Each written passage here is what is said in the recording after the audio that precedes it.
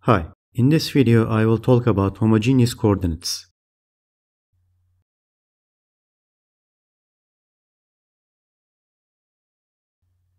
To compute a affine transformation with this equation, one matrix vector multiplication and one vector addition should be performed. Single matrix vector multiplication would be more practical and more efficient. The solution is to use homogeneous coordinates.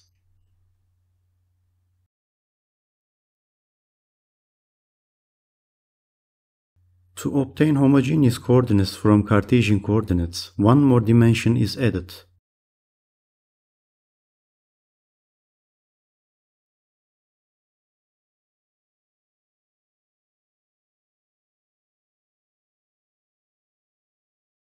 In homogeneous coordinates, a point and its scaled versions are same. They are the same point on different z-planes. If z component is 0, then the point is at infinity.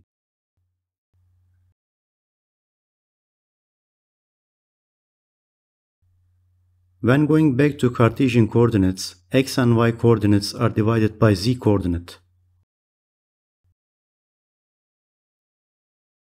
Scaled versions of the same point in homogeneous coordinates correspond to same Cartesian coordinates.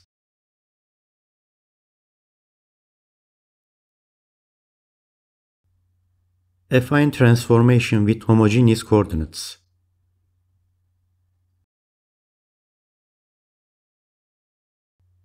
This is a affine transformation equation in Cartesian coordinates. One more dimension is added to input and output vectors.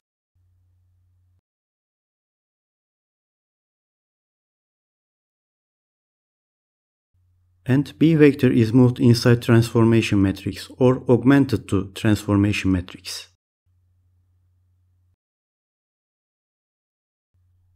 And this is a affine transformation equation in homogeneous coordinates. Using this equation, affine transformation is performed with single matrix vector multiplication.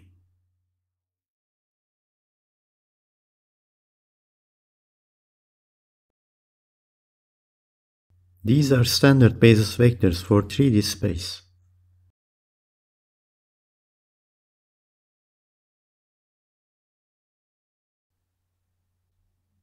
This matrix is a linear transformation matrix in 3D. Then this column is the third basis vector of transformed vector space. And what B0 and B1 do is to change the orientation of that basis vector.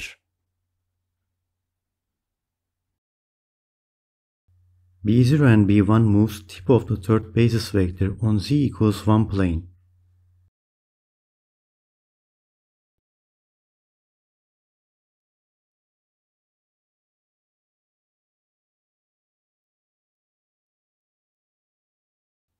This is our input image in Cartesian coordinates.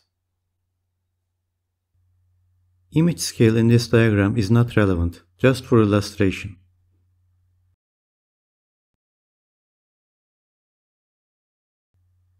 When we move from Cartesian to homogeneous coordinates,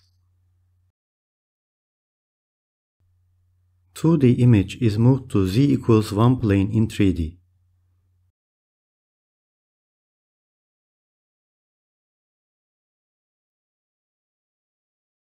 So, 2D image is embedded in 3D.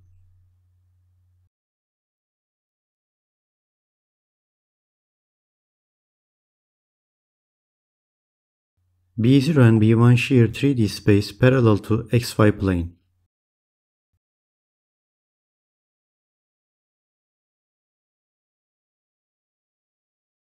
Translation of image over 2D z equals 1 plane is the result of shear in 3D space.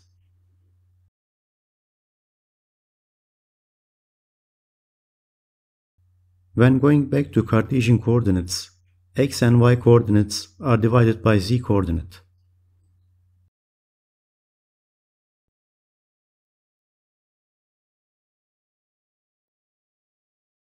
And this is translated image in Cartesian coordinates.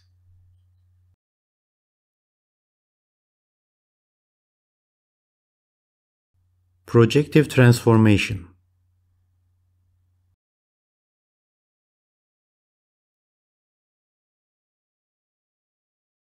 What if we change these two entries? Let's call them H0 and H1.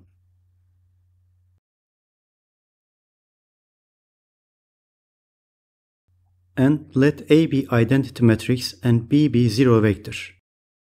So we can inspect the effect of H vector.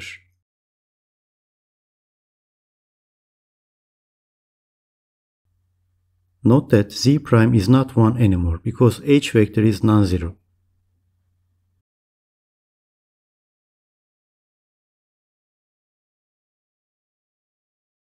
These are standard basis vectors for 3D space.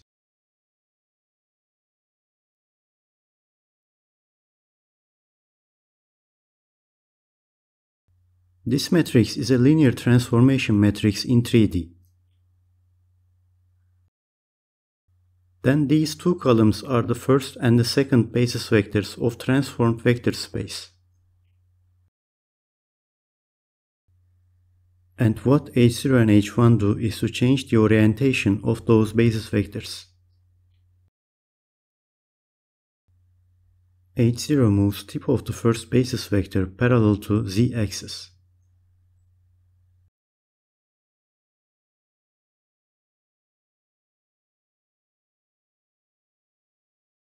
H1 moves tip of the second basis vector parallel to z-axis.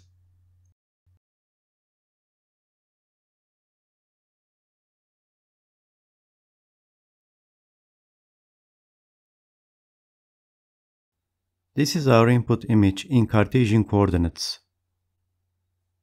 Image scale in this diagram is not relevant, just for illustration.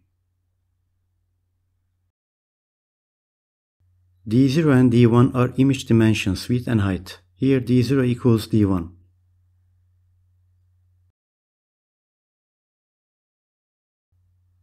When we move from Cartesian to homogeneous coordinates,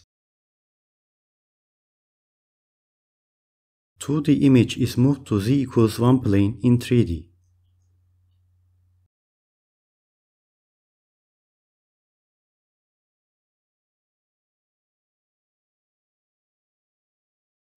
H0 and H1 shear 3D space parallel to z-axis.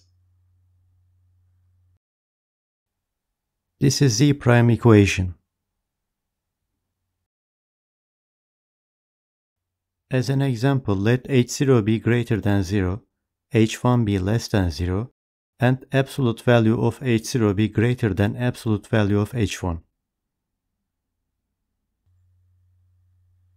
This is the result of 3D transformation.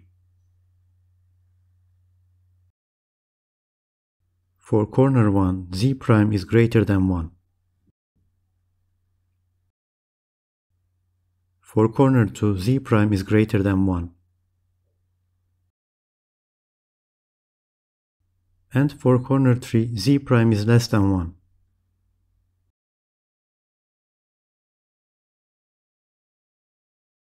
When going back to Cartesian coordinates, x and y coordinates are divided by z coordinate.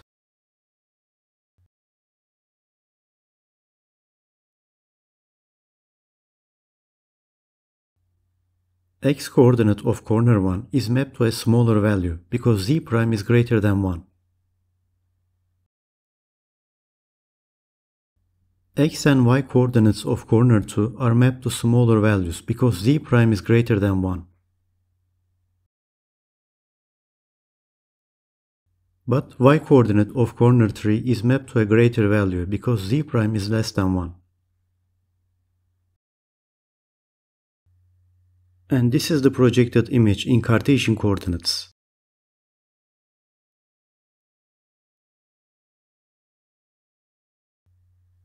This is original image. This is transformation equation.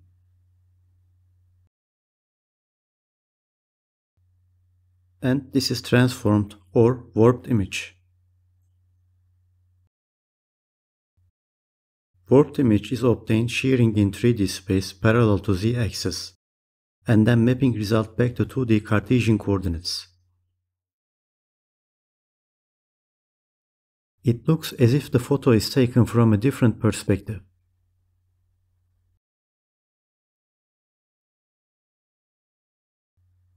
Combining this effect with A transformation matrix and B translation vector, different perspectives can be obtained.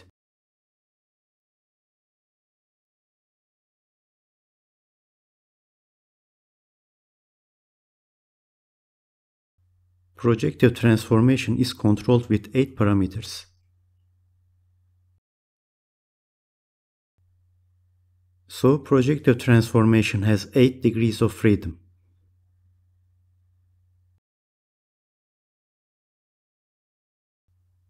For more details, you may refer to affine transformation and projective transformation videos on my channel. And that's all for this video. See you next time.